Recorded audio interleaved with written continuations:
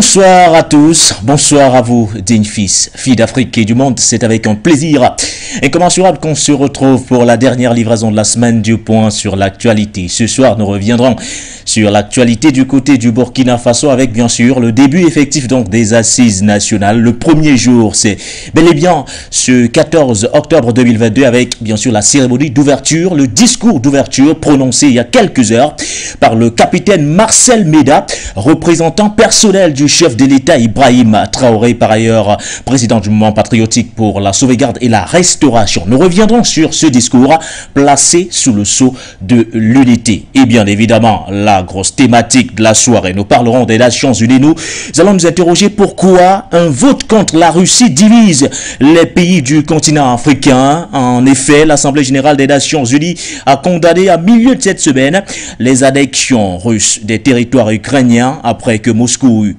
opposé son veto sur un texte similaire au Conseil de sécurité fin septembre 2022. 26 pays africains ont voté en faveur de cette résolution rejetant donc les référendums de Moscou dans quatre régions ukrainiennes. 19 pays africains se sont abstenus.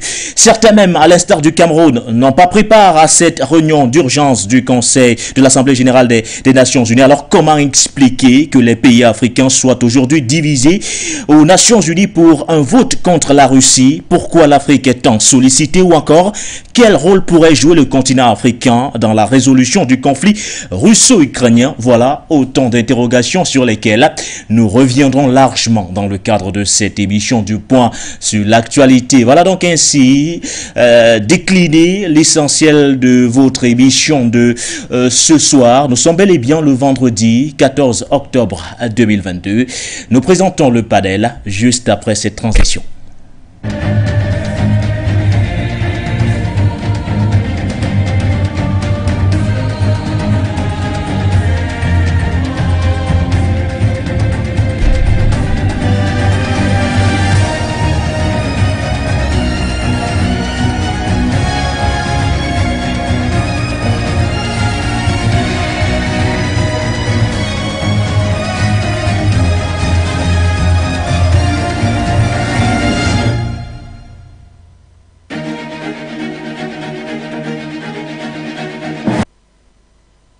Bonsoir l'Afrique, bonsoir le monde, bienvenue. Nous sommes bel et bien sur le point sur l'actualité. Ce soir, pour parler de nos deux thématiques, nous recevons, nous recevons d'ailleurs avec un plaisir incommensurable sur ce plateau Monsieur Batenguenes. C'est un plaisir de vous retrouver. On rappelle bien sûr que vous êtes le consultant permanent du point sur l'actualité. Bonsoir et bienvenue à vous. Bonsoir Monsieur Guénet, bonsoir à tous les techniciens qui abattent un travail remarquable pour la retransmission impeccable de cette émission à l'audio comme au visuel. Bonsoir à tous les millions de téléspectateurs, les vrais héros du panafricanisme, ceux-là qui portent le combat au-delà euh, des programmes télévisés. Bonsoir à la direction générale, à tout le personnel for you, aux autorités du Cameroun, bien sûr les forces de sécurité et de défense, ciment de l'unité et de l'indivisibilité de notre cher et beau pays, comme tous les soirs. Euh, un coup de gueule à l'égard du dictateur despote sanguinaire d'Abidjan, le dromadaire d'Abidjan, le chameau d'Abidjan, Alassane Draman Ouattara, qui détient dans ses geôles une combattante de la liberté, une héroïne du peuple ivoirien, celle-là même qui a été la cause de l'augmentation salariale de tous ceux euh, qui aujourd'hui contribuent à la forfaiture euh, du dictateur d'Abidjan euh, Edith Pluchéry Ballet son nom, cette dame mérite la liberté. Le crime qui lui est reproché, c'est d'avoir posé un acte citoyen, un acte patriotique, de jouer euh, les médiatrices de manière volontaire dans le cadre de la libération des 46 mercenaires. Mais nous comprenons un peu mm. euh, les réticences du despote, du despote sanguinaire d'Abidjan il reconnaît que parmi les 46 qui sont encore détenus, il n'y a que 16 Ivoiriens et 30 éléments de la junte française. Il sait euh, que euh, ce n'est pas le rôle des Ivoiriens de se battre pour la libération euh, des, hommes de la junte, de la junte française au service duquel il a été assigné. Et ce dernier redoute que, connaissant aujourd'hui la nationalité, connaissant la nationalité, Madame Edith Puchéry Ballet aurait pu, euh, dans un ras-le-bol, quand même euh, s'exclamer à l'occasion de ces négociations-là et son exclamation aurait pu faire scandale. Donc, nous comprenons cela, qu'il ne s'agit pas véritablement d'Ivoiriens, mais ce travail de mercenariat qui est rentable et juteux pour les hommes du despote sanguinaire d'Abidjan devait être gardé en secret. Donc, euh, on a porté des accusations, le gouvernement dictatorial a porté des accusations mensongères contre la grande combattante Edith Pulchéry Ballet. Nous devons dénoncer ces accusations. Nous les posons comme étant des mensonges, des alibis pour justifier une répression euh, qui n'est que dans la continuité dictatoriale de ce régime, parce qu'il y a beaucoup euh, d'ex-officiers, euh, des officiers qui ont servi sous le président Laurent Gbagbo, qui sont encore en prison. Il y a beaucoup d'hommes politiques qui sont arrêtés pour leurs convictions politiques et pas pour autre chose. Hum. Et euh, ce régime dictatorial soutenu par la jeune française se répand en commettant autant de forfaitures.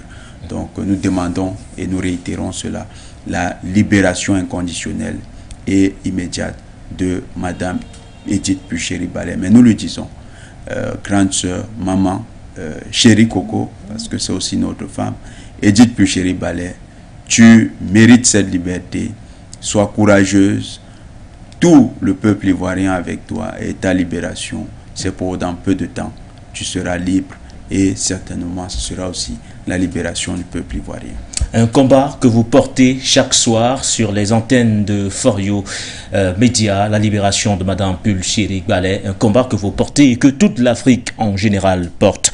Nous allons du côté du Burkina Faso retrouver Monsieur Pema Deya, euh, qui est le président du cadre d'action pour la patrie en abrégé CAP.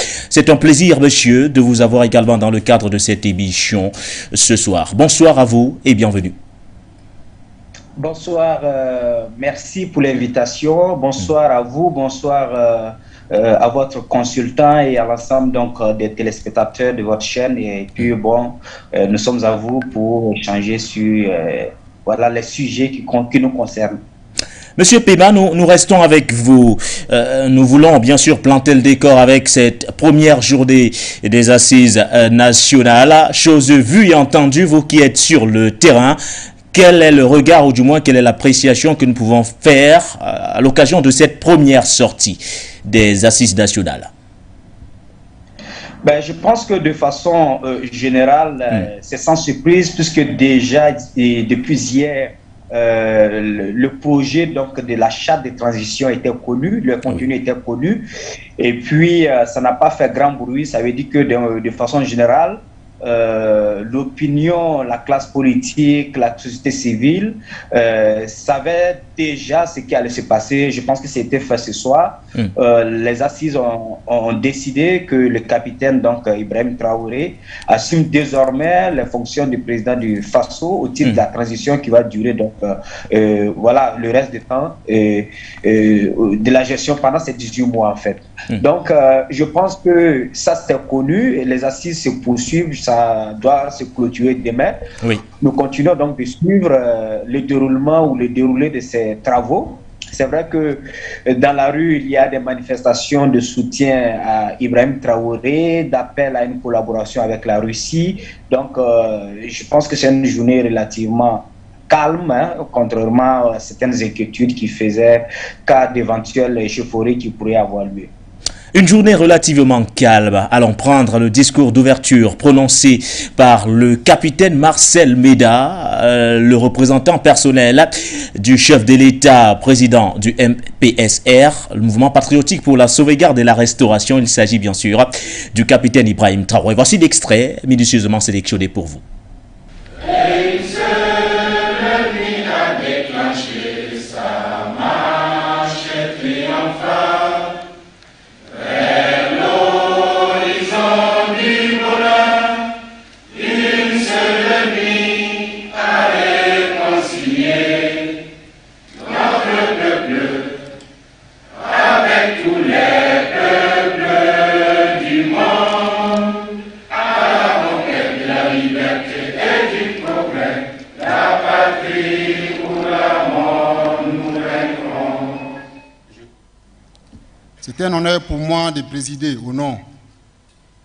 Président du mouvement patriotique pour la sauvegarde et la restauration, chef de l'État, cette cérémonie d'ouverture des assises nationales consacrée à l'adoption de la charte de la transition. Mesdames et messieurs, si l'avènement du MPSR le 24 janvier 2022 a suscité beaucoup d'espoir pour les peuples burkinabé meurtri et confronté à une crise sécuritaire sans précédent, il y a lieu de reconnaître que nos populations ont désenchanté quelques mois plus tard face à la dégradation continue de la situation sécuritaire et humanitaire. Aussi, au regard des dérapages constatés et dans le souci d'éviter l'enlisement, il s'est avéré nécessaire de redresser la barre afin de poursuivre au mieux le processus enclenché. C'est ainsi que les 30 et 31 septembre 2022, des officiers, sous-officiers et militaires du rang ont été contraints de prendre leurs responsabilités pour recadrer et recentrer les objectifs de la transition autour des priorités, à savoir la reconquête et la sécurisation de l'intégralité du territoire national.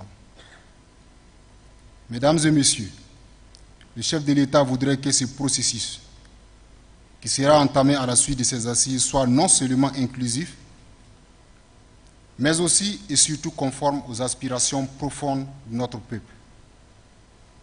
En rappel, dans le cadre des préparatifs, une commission technique a procédé à une relecture de la charte adoptée en mars 2022. Ce préalable a permis de mettre à disposition des présentes assises un projet de charte qui fera l'objet d'examen en profondeur et d'amendement. En outre, dans la perspective de garantir une large participation des Burkinabés de l'intérieur et de la diaspora, une plateforme numérique a été conçue afin d'élargir les contributions pour une mise en œuvre beaucoup plus consensuelle de la transition. Filles et fils du Burkina Faso, à travers ces assises, nous avons encore rendez-vous avec l'histoire.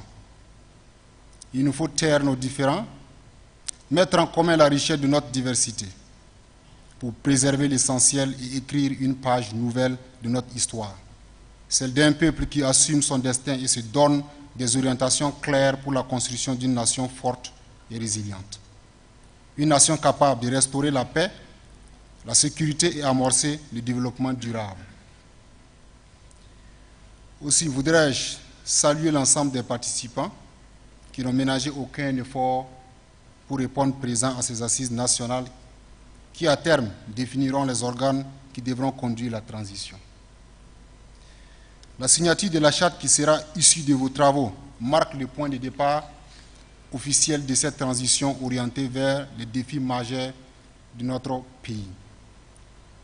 Je voudrais, je voudrais vous inviter à apporter des contributions enrichissantes en mettant au centre l'intérêt supérieur de la nation ainsi que les aspirations profondes et légitimes du peuple burkinabé. Tout en vous souhaitant plein succès dans vos travaux, je déclare au nom du président du mouvement patriotique pour la sauvegarde de la restauration en chef de l'État, ouverte les assises nationales consacrées à l'adoption de la charte de la transition. La patrie ou la mort, nous vaincrons.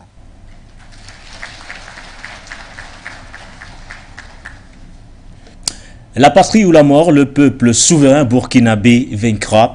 Les propos sont tenus par le capitaine Marcel Mida, mais ce dernier représentait le capitaine Ibrahim Traoré, président du mouvement patriotique pour la sauvegarde de la restauration. Monsieur Batenguenet, nous le disions d'ailleurs, ces assises sont censées désigner le président de la transition du côté du, Burkina Faso, mais à, bien écouter le capitaine Marcel Mida, il s'agit surtout d'un grand rendez-vous avec l'histoire et il a tenu à appeler à l'unité. C'est-à-dire c'est également l'union de tous les Burkinabés qui est recherchée à travers de pareilles initiatives.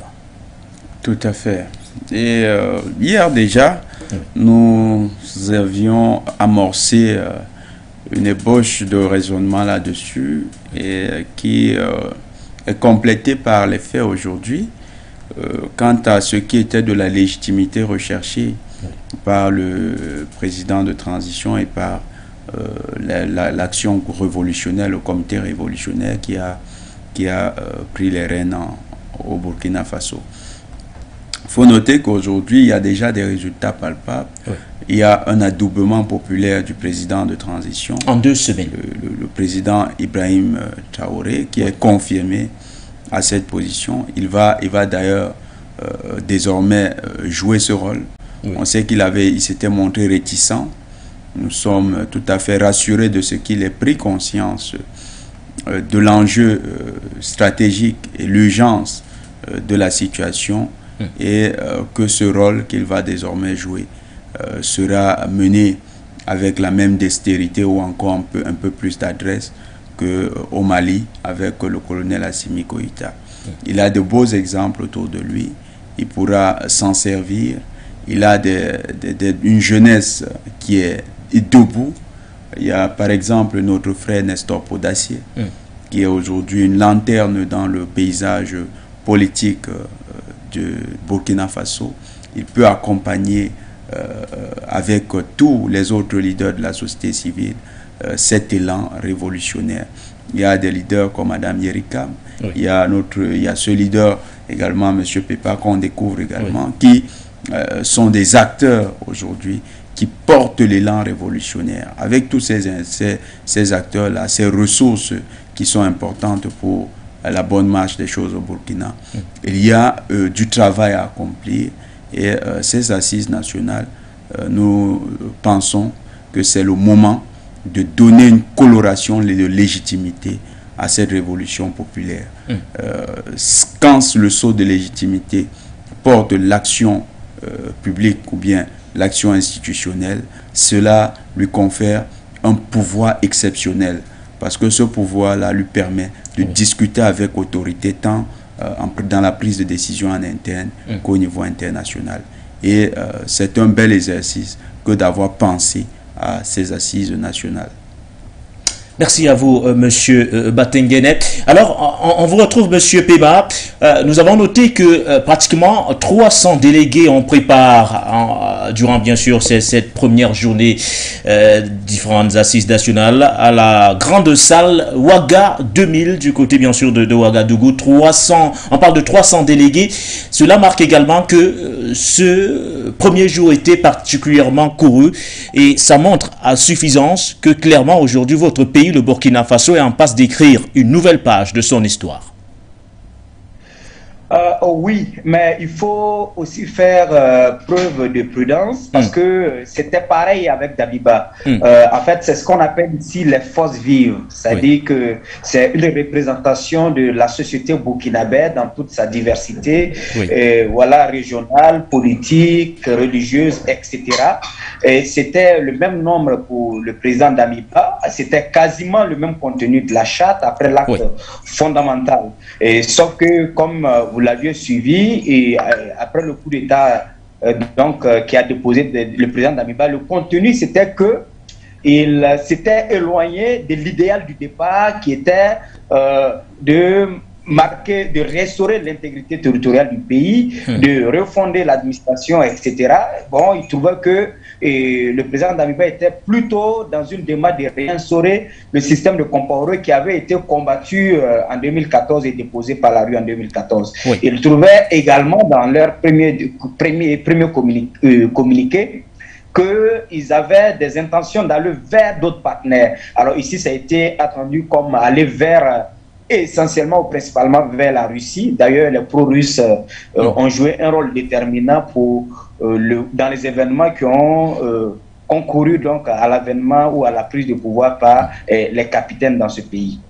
Donc, le nombre de participants effectivement témoigne que la société burkinabé est représentée dans son ensemble parce que tous ou toutes ont tenu à être là et à faire attendre leur point de vue et à euh, surtout choisir donc euh, celui qui va euh, qui va assurer donc le poste de président du FASO, président de la République ici. Donc c'est fait. Je pense que Ibrahim Traoré peut se réjouir d'avoir donc le quitus des forces vives du Burkina Faso pour dérouler ou pour entamer la mission qu'il a lui-même déclinée, qui est de se focaliser sur euh, la lutte contre le terrorisme, libérer notre pays et puis dégager donc des axes qui vont permettre au Burkina d'amorcer son développement et faire la fierté de l'Afrique comme ça l'a été donc sous la période des révolutions sous Thomas Sankara. Euh, Monsieur Pema, à l'entrée de la salle, de la grande salle Ouaga 2000, on, a vu le peuple également qui était sur place pour apporter euh, son soutien au capitaine Ibrahim Traoré. Le peuple euh, burkinabé, pour certains, ces manifestants-là brandissaient des drapeaux russes. Est-ce que c'est également une façon aujourd'hui de donner des lignes directrices au président de la transition, une façon pour, de l'interpeller et de lui dire oui, certainement aujourd'hui, parmi les partenaires qu'on voudrait, on voudrait surtout mettre en première ligne la Russie? Oui, bien sûr. Euh, je pense qu'ils l'ont eux-mêmes dit. Si vous prenez le premier communiqué lu à la télé de la prise du pouvoir ou du dépôt de, Damiba, ils ont dit clairement que euh, Damiba se serait réfugié euh, dans un camp militaire ici de Camouinsin avec les forces spéciales françaises pour organiser une réponse parce que eux, et parlant de lui, Traoré Ibrahim et ses frères d'armes, ont décidé de se tourner vers d'autres partenaires. Donc ici, c'était clair. C'était clairement établi qu'il s'agit de la Russie. Euh, depuis novembre, ici au Burkina, les manifestants, même sous le régime du président Kabouré, euh, les manifestants clamaient haut et fort qu'il faut faire appel à la Russie. Et aujourd'hui, depuis les deux semaines jusqu'à aujourd'hui, ces manifestants sont toujours actifs. Il était encore aujourd'hui dans la rue, il était encore devant la salle donc, euh, de conférence de Ouara 2000. Mm. Je disais tantôt ce matin que ce, cet appel ou ce soutien, c'est un espoir que ces manifestants que, euh, expriment euh, de voir clairement le, et le capitaine Ibrahim tenir cette promesse-là qui est d'aller vers la Russie. Donc, mm. il est désormais président. Nous allons observer donc ses premières actions et voir s'il va lui-même respecter les engagements qu'il a pris ou qui, euh, il le, discours qu'il a tenu, donc euh, son premier discours. Merci à vous, Monsieur Pima. On rappelle bien sûr que le, ces assises se poursuivront demain. Il sera bien sûr, ce sera le, le, samedi 15 octobre 2022. On sera au près euh, de la situation afin de mieux informer nos téléspectateurs, nos éditeurs, voire nos internautes via nos différentes plateformes Facebook ou encore euh, YouTube. C'était bien sûr la, la petite biscotte qu'on a tenu à partager avec vous. Prénom d'entrée déjà. La principale thématique de ce soir, nous parlons des Nations Unies, nous parlons pourquoi un vote contre la Russie aux Nations Unies divise-t-on les pays du continent? L'Assemblée générale des Nations Unies a condamné mercredi dernier les annexions russes des territoires ukrainiens après que Moscou eut opposé son veto sur un texte similaire au mois de septembre euh, dernier. Euh, on parle également de 26 pays au total qui ont donc voté en faveur de, cette résolution prise à l'Assemblée générale des Nations Unies, rejetant donc le, les référendums de Moscou dans quatre régions ukrainiennes. 19 pays du continent africain se sont abstenus. Certains même n'ont pas participé à cette réunion d'urgence l'Assemblée générale, des, Nations Unies, à l'instar bien sûr du, Cameroun. Ce soir, nous parlons de ces Nations Unies là, nous parlons surtout euh, de ces abstentions, mais surtout de ce vote aujourd'hui qui divise. Monsieur Battengen, une résolution qui est prise au niveau des Nations Unies qui condamne la Russie, ou du moins qui condamne les référendums organisés par Moscou dans son processus d'annexion de quatre euh, régions ukrainiennes. Est-ce qu'aujourd'hui, au regard euh, de la tournure des événements, est-ce que quand vous vous plongez dans ces événements-là, vous pouvez dire que euh, Moscou est en conflit aujourd'hui avec les Nations Unies ou alors clairement que reprochent exactement les Nations Unies à la Russie? D'abord, pour aborder la question, j'essaierai d'adopter une posture beaucoup moins partisane. Parler d'annexion, c'est euh, être partisan d'une rhétorique qui est propre aux membres de l'OTAN et qui est propre à la propagande anti-russe ou russophobe euh, développée autour de l'Ukraine et euh, avec comme point de, point de, de, départ les pays de l'OTAN. Je ne parlerai donc pas d'annexion. Vous parlerez de quoi, M. Batengene? La reconnaissance par la Russie de référendum, des résultats du référendum. je tiens à rappeler pourquoi je le fais, parce que le Cameroun, au sorti des indépendances dans les années 60, le Togo également, a s'est vu imposer un référendum au thème duquel les Britanniques ayant triché sur les résultats, une partition du Cameroun a été réalisée avec une réunification de l'autre partie. Hmm. Et ce référendum qui avait été organisé sous le couvert des Nations Unies répondait aux articles 104 de la Charte des Nations Unies et était conforme à d'autres dispositions de la, même charte qui permettent l'autodétermination des peuples. Les, le peuple ukrainien, quand vous prenez les accords de Minsk, et c'est bien de revenir dans les accords de Minsk pour comprendre la spécificité du référendum en Ukraine, les accords de Minsk prévoyaient que les régions qui manifestaient des velléités autonomistes devaient avoir un peu plus de liberté dans, de gestion dans leurs affaires. Et euh, ces régions-là devaient avoir l'autorisation de parler, d'utiliser leur langue natale. Et quand vous prenez la Crimée, le Donbass et les républiques du Donbass euh, jusqu'à Odessa, la langue parlée, c'est des populations russophones. C'était des populations qui, de manière historique, étaient d'abord attachées à la Grande Russie.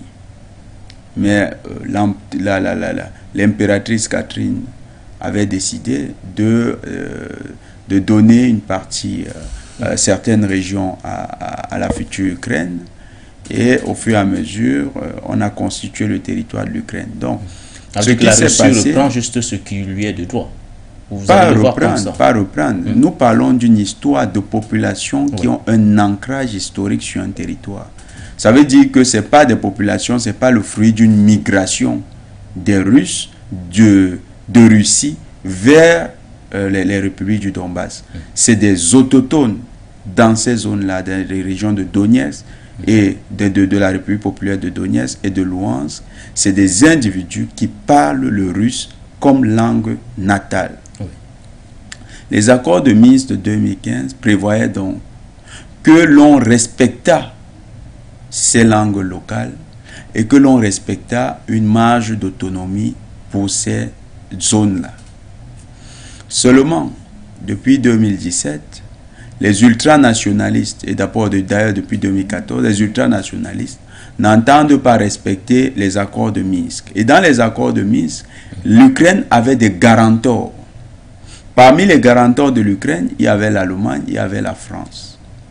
Il y avait bien sûr la Russie faut noter qu'aucun euh, des, deux autres garantors du côté de l'Union européenne n'ont fait valoir leur devoir vis-à-vis de l'Ukraine, c'était la mise en application ou bien l'accompagnement à l'application des accords de Minsk.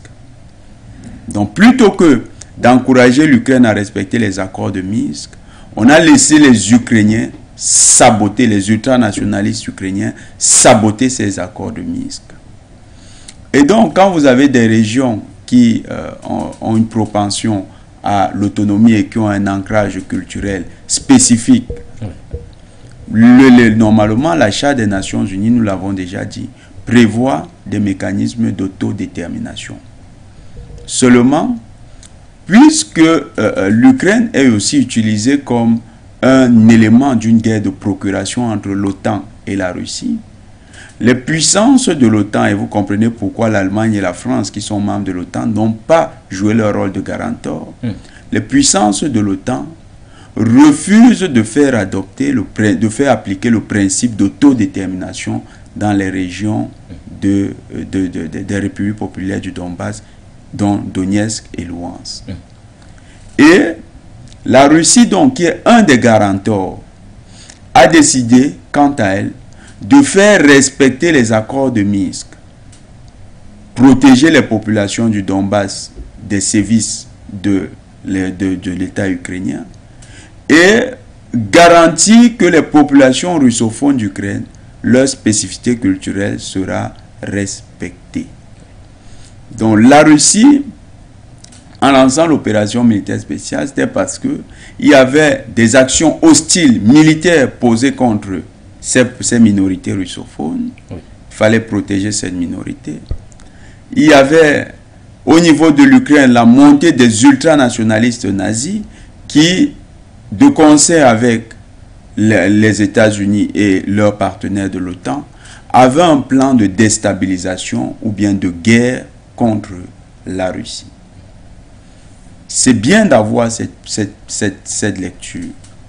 Parce que quand on perd de vue cette lecture historique, on utilise de manière un peu naïve les narratifs de l'Occident, le narratif de l'OTAN, qui dans cette, dans ce, dans cette euh, euh, confrontation n'est pas du tout un acteur neutre. C'est un acteur partisan qui a pris fait et cause pour l'Ukraine.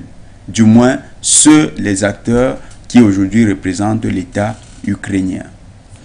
Les Russes, donc, utilisent, font valoir des mécanismes qui existent dans la Charte des Nations Unies, l'autodétermination des peuples. Ils, dans les villes qu'ils ont réussi à sécuriser, parce qu'il s'agit moins d'une occupation que d'une sécurisation, vous allez voir que dans euh, les contre-offensives ukrainiennes qui se sont déroulées à la fin du mois euh, de septembre, les contre-offensives ukrainiennes, à la surprise générale, entraînaient les migrations massives des populations qui allaient plutôt se réfugier dans les villes qui étaient euh, sous, sous protection russe. C'est dire que ces populations ressentent un attachement naturel à la Russie plutôt qu'à l'Ukraine et se sentent plus menacés par la Russie, euh, par l'Ukraine que par la Russie. D'ailleurs, dans le cadre des représailles, les autorités ukrainiennes ont commis des massacres de populations russophones de la ville de Kupiansk, reprochant à ces populations d'avoir coopéré avec ce qu'ils appellent l'ennemi. Vous comprenez donc que au niveau de la légitimité, l'État d'Ukraine ne jouit pas d'une adhésion populaire des populations des villes du Donbass, dont les républiques de Luhansk et de Donetsk. La Russie, qui a donc fait valoir le principe d'autodétermination, a permis à ces populations de choisir. Il faut noter que le, le, le scrutin qui s'est passé, les Nations Unies ne recusent pas la transparence du scrutin. Ça, c'est au moins l'unanimité que vous constaterez. Il n'y a aucun média, même de propagande occidentale, qui recuse la transparence du scrutin. Donc, à ce niveau... Ça veut dire que les résultats reflètent le désidérata de, de ces Ils sont conscients de cela. Ils sont conscients de ce que la population souhaite. Euh, davantage être rattachée à la Russie que de rester dans l'ancienne Ukraine. Et donc, ces populations qui ont manifesté, il y a eu un référendum en bonne et due forme, et les différentes régions qui ont euh, manifesté leur volonté l'ont manifesté avec des scores qui dépassent au moins les 80%. Les 80%, c'est très important. Ça veut dire que dans aucun, quand je dis 80%, c'est pour être relatif. Tous les scores étaient supérieurs à 90%. Ça veut dire que l'adhésion populaire est, énorme dans ces, dans ces régions-là. Vous avez des populations, par exemple, à Odessa, à Nikolaev, qui envoient des signaux à l'armée russe et souhaitent que l'armée russe arrive, qu'ils considèrent d'ailleurs comme des libérateurs. Comme des libérateurs. Pourquoi? Parce qu'ils se sentent opprimés, ils se sentent réprimés. Et pas réprimés parce qu'ils auraient professé des idéaux politiques subversifs, mais simplement parce qu'ils ont décidé d'assumer leur identité de minorité russophone. C'est donc un risque aussi de génocide qui existe en Ukraine. Donc, ce qui s'est passé avec l'autodétermination des populations des régions de Luhansk et de Donetsk, c'est tout à fait un principe qui est reconnu par les Nations, Unies. Unies. Et c'est des dispositions qui permettent à certaines minorités d'exister de manière différente au sein d'un grand ensemble. Hum. Sauf que dans le cas d'espèce, la question qui a été posée au cours du référendum, les populations ont souhaité être rattachées pour plus de sécurité. Parce que dans la contre-offensive ukrainienne également, il y a des leçons qui ont été tirées. Les autorités de la République de Donetsk qui avaient la charge de la, la, responsabilité de la sécurité des villes qui, étaient, euh, qui avaient été sécurisées par les, les, les, autorités russes, par les, les forces russes, ces, ces, ces autorités-là n'avaient pas la, puissance de feu nécessaire pour euh, arrêter des contre-offensives russes. Surtout que les Russes avaient envoyé une bonne partie du personnel, en, a, envoyé une, une, bonne partie du personnel se reposer parce qu'ils prévoyaient recommencer l'offensive, leurs offensives après une certaine, un certain temps. Et ils se disaient qu'il y a beaucoup de choses à fixer. Mm. Donc, en attendant, ils avaient ramené des populations. Et là, les populations n'étaient pas sécurisées par les autorités de ces deux républiques-là. Donc, le rattachement à la Fédération de Russie donne euh, à, la, à la Russie des éléments stratégiques nouveaux dans le cadre de la défense de ces minorités-là. Et euh, je crois que dans les prochaines, euh, dans les autres interventions, nous allons aller un peu plus en profondeur. beaucoup plus en, profondeur en évoquant bien sûr le, le cas des pays du continent africain qui ont également été sollicités durant cette Assemblée générale des, Nations Unies. Mais bien avant de parler de ces pays du continent qui sont aujourd'hui divisés sur un vote contre la Russie concernant bien sûr euh, cette question ou du moins ce conflit russo-ukrainien, Monsieur euh, euh, Pema, à votre niveau, quel est le regard que vous avez porté sur cette condamnation prononcée donc par les, Nations Unies sur euh, les référendums organisés au mois de septembre dernier concernant bien sûr quatre régions ukrainiennes?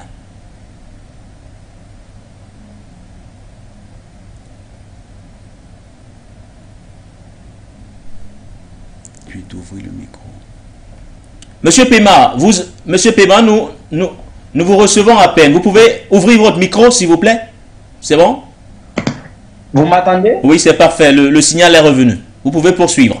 D'accord. D'accord. Bien, je disais que euh, la guerre en, Ukraine, euh, c'est d'abord une conséquence euh, ou c'est d'abord l'échec de l'ONU qui n'a pas su résoudre ce problème-là avec toute la rigueur qui sied. vous savez que après donc la fin de l'URSS, les, frontières de la Russie et ses anciennes, euh, euh, voilà, et les anciens pays membres, la question n'a pas été définie et les engagements pris de part et d'autre n'ont pas été respectés par rapport euh, au caractère neutre d'un certain nombre d'États et par rapport à l'avancée de, de, l'OTAN vers la Russie.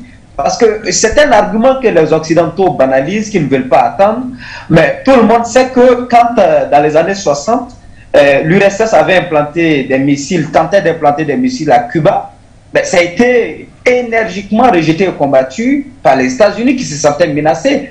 Donc l'ONU a permis euh, non seulement ou a laissé des pays qui étaient dans le giron de l'URSS glisser vers l'Union européenne et certains devenus membres de l'OTAN euh, où donc l'OTAN est dans un processus d'encerclement de, la Russie, c'est clair que la Russie n'allait pas se laisser faire. On a vu la crise euh, en 2014 qui a abouti donc euh, déjà euh, au fait que la Russie a, réussi à remettre la Crimée, qui faisait partie historiquement de son territoire, dans son giron, qui constituait aussi une base stratégique, une base stratégique navale pour, pour, pour, la défense donc, de la Russie. Donc, elle ne pouvait pas laisser faire.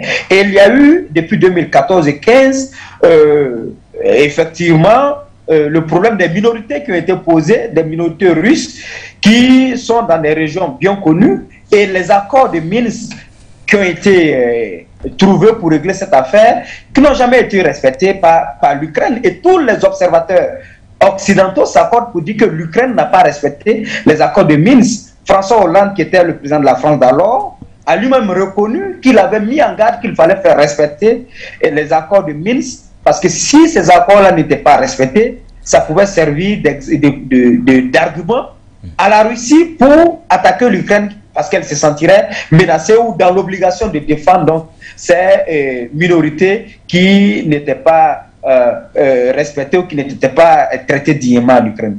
Donc, ça pas, la question n'a pas été résolue, aucune pression occidentale ou euh, que ce soit de l'OTAN, que ce soit de l'Union européenne ou des États-Unis, aucune pression n'a été suffisamment mise sur l'Ukraine pour qu'elle respecte ces conditions, ces accords de Minsk qui allaient nous épargner tous les scénarios que nous vivons aujourd'hui. C'est clair que l'opération spéciale, comme Poutine l'a appelée, la guerre, comme les Occidentaux le qualifient en Ukraine, oui.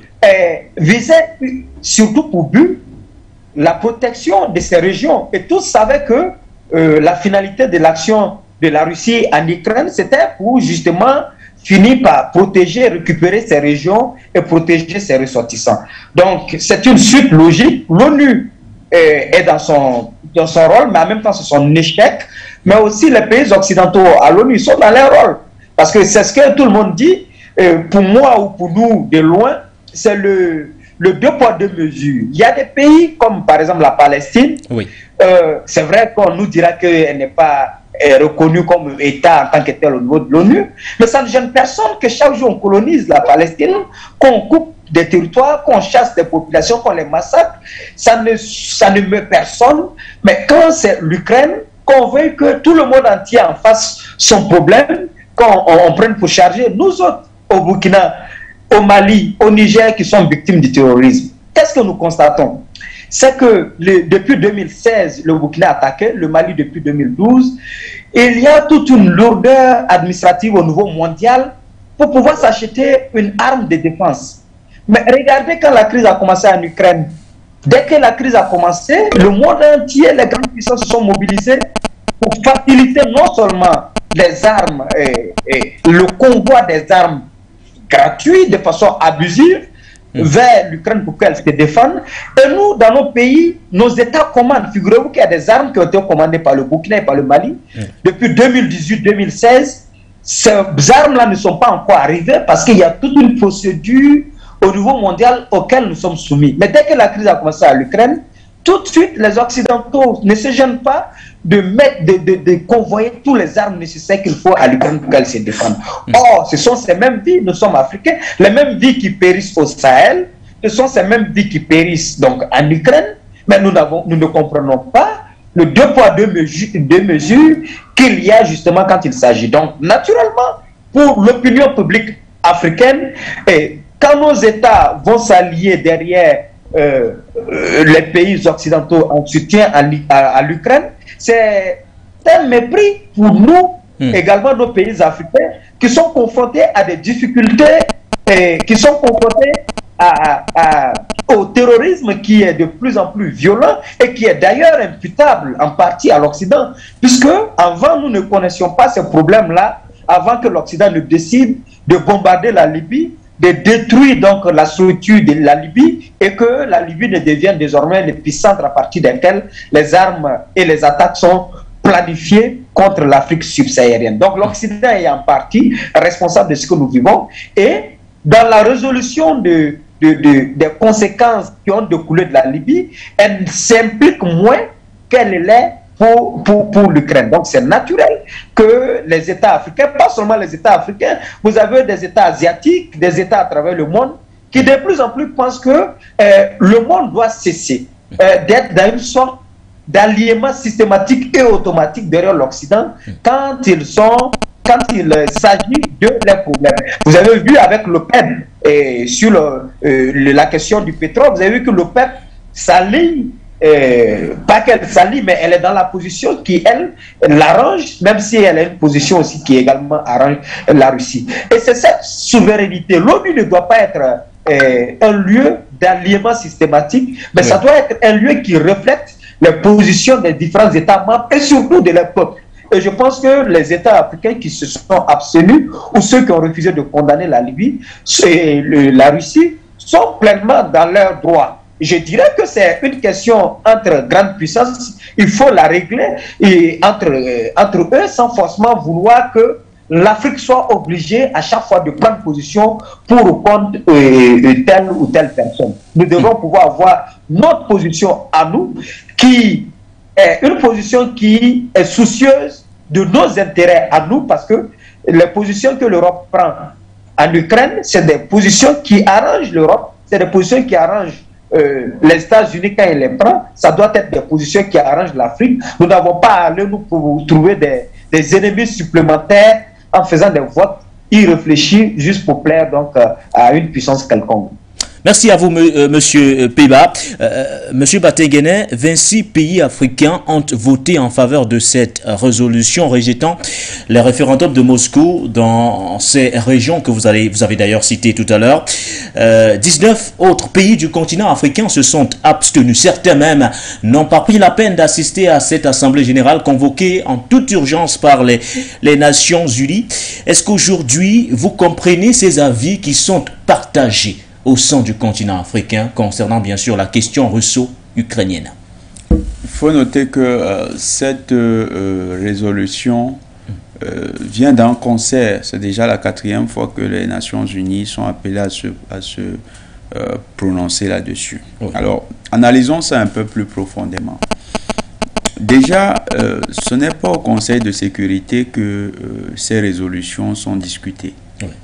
Pourquoi pas au Conseil de sécurité? Pourquoi chaque fois l'Assemblée générale des Nations unies? Parce qu'au Conseil de sécurité, la Russie a imposé son veto au mois de septembre. Tout à fait. Déjà, là-bas, on sait que les, Occidentaux savent qu'il euh, n'y a aucune, aucune action qui peut être menée au Conseil de sécurité. Or, le Conseil de sécurité, c'est euh, l'organe euh, l'organe opérationnel qui se charge, qui est même responsable des opérations de maintien de la paix dans le monde et des discussions sur les questions de paix dans le monde. Donc déjà là, on n'est pas dans euh, les volontés de euh, poser le problème au niveau du maintien de la paix. Ce n'est pas une affaire de paix qui se discute. On ramène ça à une autre notion. C'est l'Assemblée générale. Or, l'Assemblée générale, c'est quoi? L'Assemblée générale, euh, c'est le cadre à partir duquel on prend des décisions collectives sur l'avenir de l'organisation, bien sûr, euh, des questions importantes de l'organisation. Et l'Assemblée générale, même si elle a des pouvoirs euh, assez, assez, assez proches de ceux du Conseil de sécurité, il y a que l'Assemblée générale a une particularité. C'est généralement pour montrer la popularité d'une cause qu'on procède par l'Assemblée générale ou bien pour rechercher l'adhésion d'un plus grand nombre. Quand vous regardez donc les votes, au mois d'août dernier, euh, le Conseil de sécurité, l'Assemblée générale était amenée à se prononcer sur l'arrêt de, euh, de l'opération militaire spéciale russe en Ukraine. Euh, il faut noter que sur 139 pays, sur près de 200 pays qui ont voté, seuls 56 ont voté pour plus de 139 ont voté et plus de 130 ont voté contre hmm. l'arrêt. Ça veut dire que avec un avis assez récent, vous avez déjà une lecture de l'affaire. Les gens vous disent qu'ils ne sont pas prêts de voir s'arrêter l'opération militaire spéciale russe. Hmm. Premier élément. Au mois de mars et au mois d'avril, euh, les euh, pays de l'OTAN, euh, les puissances et les États-Unis surtout, sous conseil, en conseillant l'Ukraine, ont décidé de porter ce dossier au niveau de l'Assemblée générale encore. Toujours dans le cadre de davantage créer une majorité euh, autour de, de, l'Ukraine, pour voir à quel point, quel est le poids euh, de, de, de, cette cause. Au mois de mars, hmm. vous allez remarquer que là encore, ils n'ont pas réussi à avoir la majorité des pays à leur côté. Oui leur côté. Il fallait cette fois-là isoler la Russie. Fallait isoler la Russie. Que de tentatives infructueuses jusque-là. Vous avez trois tentatives infructueuses. Maintenant, la dernière, il faut quand même reconnaître qu'il y a une grosse évolution, même au niveau des votes en Afrique. Mais il faut comprendre que en Afrique, euh, cette cette situation va en résonance aussi avec euh, certaines situations, avec euh, de plus en plus la clarification du jeu géopolitique en Afrique. Vous avez des pays comme la Côte d'Ivoire qui ont voté pour, la Guinée-Bissau qui ont voté pour. On comprend que direct, euh, le bloc de l'Occident collectif est en train de se densifier avec des acteurs locaux. Et d'ailleurs, on voit comment est-ce que ces acteurs réagissent sur le plan des questions, sur les questions sous-régionales au niveau de l'Afrique. Donc, il y a des alliés de l'Occident qui se dégage de plus en plus en Afrique. Et il y a un bloc clair qui se forment autour des pays qui pensent le monde libre de demain à partir de l'Afrique. Et donc sur 54 nations, sur 54 nations africaines, vous avez 26 qui ont voté pour. Et donc près de 20 19 qui se sont abstenus. Près de 19 qui se sont abstenus. Et vous avez 5 qui ont voté qui ont voté contre. Les pays comme l'Éthiopie, ils ont voté contre. Euh, la République centrafricaine, Centre, La République centrafricaine a voté contre. Euh, le, nous avons déjà cité l'Éthiopie. également. oui, a voté contre. L'Érythrée a voté contre. Donc, vous avez ces pays qui ont pris fait et cause. À côté, vous avez 19 qui, pas forcément, ne sont en train de... C'est pas qui, qui sont neutres. Il, il, faut, il faut noter qu'ils ne sont pas neutres. Ils ne sont pas neutres. Mais il y a une lecture globale qu'il faut faire. Actuellement, c'est euh, les Occidentaux et l'OTAN essayent de peser sur une balance le poids des pays. Vous savez, dans, une, dans un affrontement, on vous dit que les extrémistes des deux bords ne sont jamais assez nombreux. Mais la grande partie euh, qui pourrait faire basculer le jeu dans un, dans un affrontement, c'est ceux-là qui sont au milieu, hmm. alors qui n'ont pas encore pris position. Et c'est ça que les États-Unis et leurs alliés de l'OTAN font à l'Assemblée générale. Ils essayent de, vouloir, de voir, de peser quel sera euh, le poids relatif ou bien le poids de, euh, des éventuels soutiens de la Russie et de la Chine dans le cadre d'un affrontement global. Et c'est ce qui se passe au niveau des Nations Unies. Donc plutôt que de simplement regarder ces configurations qui correspondent actuellement à un ensemble de rapports de force sur plusieurs parties du globe, c'est euh, beaucoup plus dans l'hypothèse d'une éventuelle troisième guerre mondiale que ceux qui amènent cela aux Nations Unies, à l'Assemblée générale, le font. S'ils voulaient vraiment discuter des questions de paix, ils, les États-Unis et leurs alliés travaillerait davantage dans le cadre du Conseil de sécurité. Il trouverait un moyen, d'ailleurs la Russie n'a jamais exclu l'hypothèse d'une négociation avec l'Ukraine. C'est le président de l'Ukraine qui a pris une loi en disant qu'il ne discutera avec le président Poutine que lorsque ce dernier aura quitté le territoire de ce qu'il appelle encore l'ancienne Ukraine, hmm. ou bien ce que lui il appelle l'Ukraine, mais que nous considérons aujourd'hui comme l'ancienne Ukraine. Donc vous avez ces conditions-là qui montrent que ce n'est pas une discussion qui vise à parler de paix, c'est une discussion qui nous engage sur un terrain de guerre. C'est ça la logique qui est derrière. Hmm. Et donc, pourquoi la position des pays africains est importante Vous allez remarquer que les pays africains qui ne votent pas, euh, qui s'abstiennent, ou bien qui votent contre, sont des pays qui ont un poids très important très important sur le continent. Ceux qui votent pour, c'est-à-dire qui accompagnent le bloc de l'Occident, quand vous regardez, c'est des pays qui ont un poids relatif sur le continent. Qui sont, euh, parfois vous trouvez des pays qui sont euh, relativement importants, mais qui sont, qui sont relatifs. Si vous prenez aussi en densité de population, vous allez constater que ces pays sont moins de 40% de la population du continent, les 26 qui sont cités. Oui tandis que l'immense majorité de la population du continent est dans l'autre partie. Hmm. Parmi les abstentions. Et ça correspond avec ce qui se passe dans le monde. L'Occident collectif est soutenu par 41% de la population mondiale, tandis que 69, 59% euh, euh, euh, de cette population reste davantage favorable aux idéaux prôné par les nouveaux pays émergents et par ce qu'on appelle aujourd'hui le monde libre. C'est ce rapport-là qui est devenu pertinent. Quand vous regardez aussi dans la configuration, vous voyez que de plus en plus, les alliés classiques de l'Occident se radicalisent dans leur position. Ces alliés classiques se radicalisent. Sauf que, sauf que, au niveau des opinions, parce que la bataille n'est pas seulement cette bataille-là au niveau de l'Assemblée générale, parce que eux, ils veulent nous amener, euh, quand je dis nous, je veux parler de l'ensemble de, des pays du monde, ils veulent amener l'opinion mondiale à lire ce conflit du point de vue euh, de leur propre prisme euh, d'appréciation. Mais il y a d'autres grilles qui peuvent être mobilisées. Quand vous regardez au niveau de l'opinion, vous allez constater que même si la France officielle est derrière l'Ukraine, il y a un basculement de l'opinion française qui est en cours. Hmm. on est quitté de 79% de soutien à la cause ukrainienne en France à 66%. C'est un record, c'est un recul de 13%. Ça, c'est les, les statistiques d'Ipsos, le cabinet d'analyse de, de, de, sondage au, au, niveau de la France. Ils sont dans un recul de l'opinion favorable à, à la cause ukrainienne. Quand vous regardez maintenant le régime même qui gouverne en France, vous voyez que ce régime est devenu impopulaire.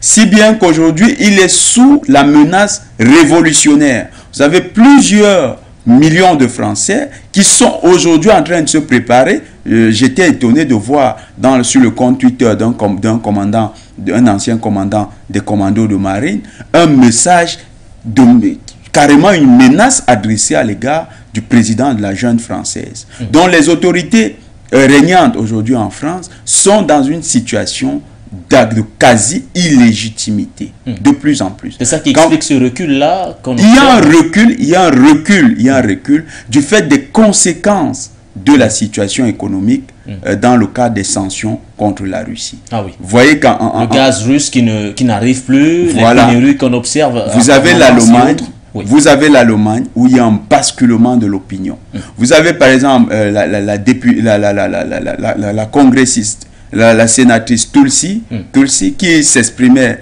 euh, euh, hier dans une conférence à Las Vegas.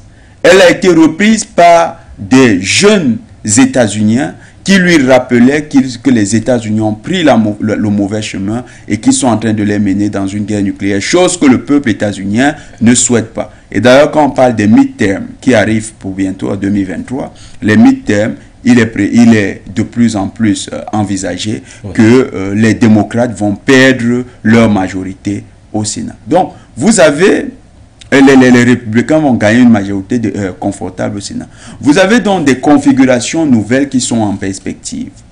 Et ces gens veulent à tout prix assourdir, abasourdir le monde avec le son de leur propre voix. C'est pourquoi ils veulent multiplier euh, ce genre d'initiative au niveau des Nations Unies qui nous permettent simplement de voir euh, qu'il y a encore des pays qui soutiennent euh, l'Ukraine, oui. tout en perdant de vue qu'il y a des dynamiques à l'intérieur de ces pays qui, d'ici quelques mois, quelques, quelques mois, vont radicalement changer, changer, oui, changer les, les, les, les votes oui. dans, dans, dans, ces organismes-là. Mmh. Ils sont en train de tout multiplier, mais c'est aussi dû au fait que, sachant que l'agonie de leur stratégie est avancée, oui. ils veulent à tout prix faire passer très vite leur plan. Leur plan, c'est quoi? C'est qu'au lieu de subir leur déchéance euh, proprement, ils veulent entraîner le monde dans une troisième guerre mondiale. Donc tous ces efforts-là sont des efforts qu'ils mettent, c'est exactement comme le paquet des sanctions, c'est exactement euh, comme euh, le, le, le, surarmement ou bien l'armement continu et illimité de l'Ukraine, mmh. c'est une stratégie qui vise à renforcer l'idée de guerre et d'amener le monde vers une troisième guerre mondiale. Merci à vous, Monsieur Jonathan Batengene. Monsieur Pemanea, à votre niveau, pourquoi la position des pays africains est-elle importante? Ou alors, comment interpréter aujourd'hui cette volonté des Nations Unies à vouloir impérativement intéresser les pays africains et les amener à prendre position contre la Russie dans ce conflit?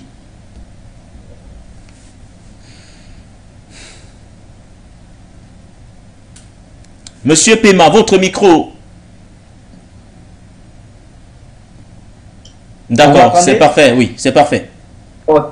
Mais il y a, je disais qu'il y a d'abord euh, cette volonté d'isoler la Russie mm. et euh, l'Occident. Le journaliste Tamil Malouf a écrit dans le dérèglement du monde que l'Amérique, qui est le fil conducteur de l'Occident, s'égare dans une ambition qui la fatigue et qui l'épuise. Elle veut tout seul dompter une planète qui est indomptable. Mm.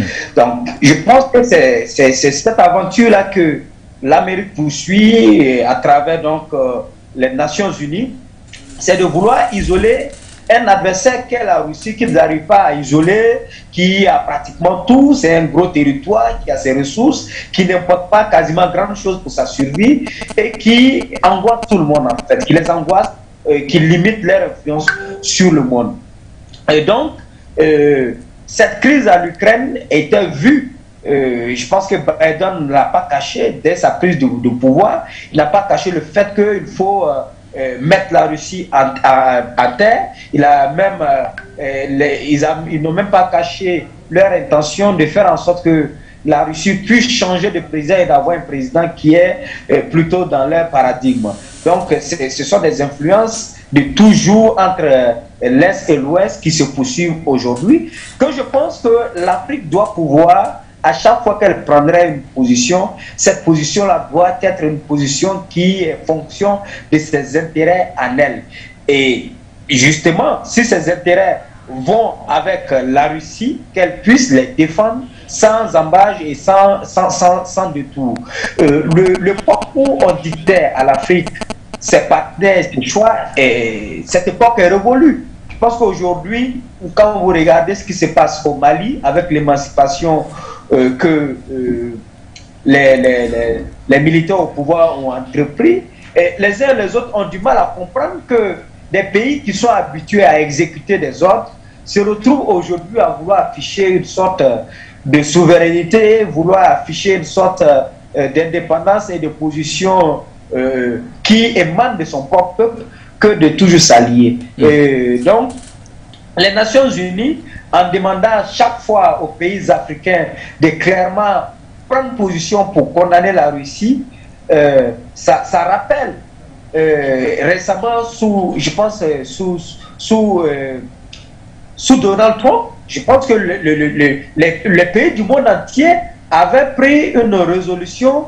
qui condamnait justement Israël par rapport à un certain nombre, par rapport à sa politique en Palestine, tout de suite les, nations et l'Amérique a suspendu son soutien euh, à l'UNICEF ou je ne sais pas si à l'UNESCO, parce que tout simplement ils estiment que euh, le monde entier n'a pas le droit de prendre position contre, euh, contre donc, elle, ses intérêts. Ça veut dire que ces soutiens ou ces sanctions des nations ne vaut vraiment pas grand-chose tant que ça ne sert pas la cause de l'Occident en particulier, précisément des, États-Unis. Et je pense que l'ONU aujourd'hui, pour sa propre crédibilité, a besoin de moins